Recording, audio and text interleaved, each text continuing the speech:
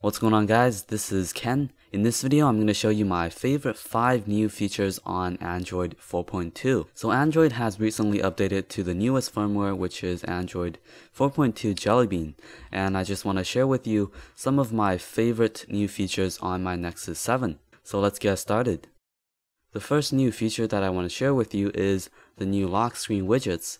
So in my lock screen I can scroll left to see different widgets that I have on my lock screen. So this is the Gmail widget. I can interact with all these widgets. So in my Gmail widget, I can scroll down to see different emails. And for my calendars, I have no recent events. I can also scroll left one more time to add more widgets.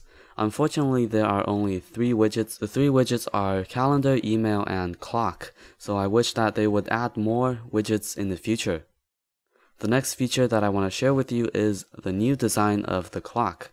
As you can see, the clock looks a lot different and looks very simplistic, just like the previous one. I can tap on the clock to see the clock app, and inside the clock app and also on the lock screen, the font of these numbers changed. The user interface in the clock app also changed by a lot.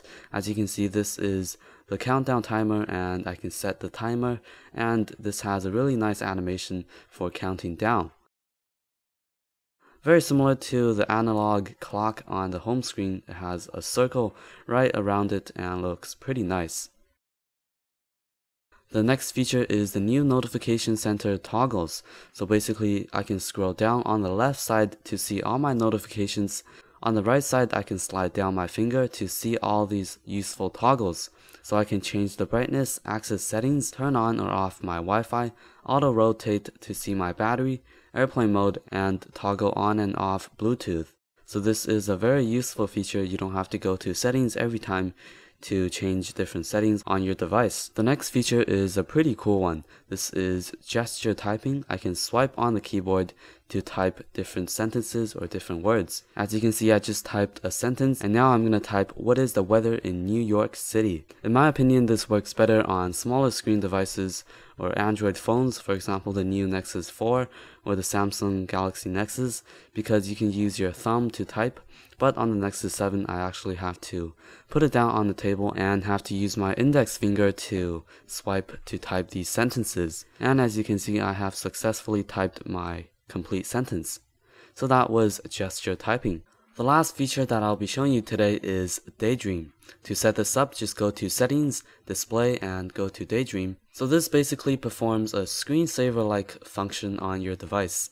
Well, I can't really say it's a screensaver because it doesn't really save battery on your screen. It actually drains a little bit of battery, but it's a pretty cool feature on Android 4.2. So basically how this works is if your device is inactive for a few minutes, it will start daydreaming.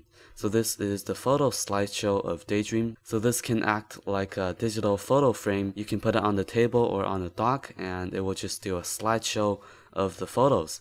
You can also choose when to open Daydream while charging or while docked. So the photo slideshow is my favorite part about Daydream. So there you have it, that was my 5 favorite features on Android 4.2.